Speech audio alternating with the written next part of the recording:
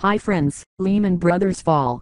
This case unfolds the financial undertakings of Lehman Brothers Incorporated, which was once the fourth largest investment bank in the world.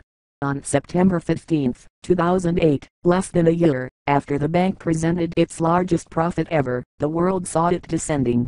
In terms of size of assets, Lehman is considered the largest bankruptcy in history, with assets summing up to US $639 billion and liabilities of US $613 billion. The U.S. credit crisis uprooted the strength of Wall Street, with Lehman announcing a petition it filed under Chapter 11 of the U.S. Bankruptcy Code. The bankruptcy raised some interesting questions the biggest among them being how could a large-sized company such as Lehman with a track record of reporting huge profits become so helpless that it had to file for bankruptcy undoubtedly. The financial scenario in the United States had become bad, especially for those companies that were into mortgage banking. Lehman had some additional drawbacks.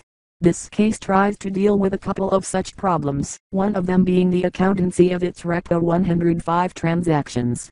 The modus operandi of the company has been unveiled to show how it managed to hide its true financial state by using gaps in the financial reporting system across the borders and remain clean-handed for years.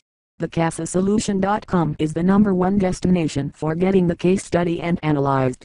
Thanks for watching this video.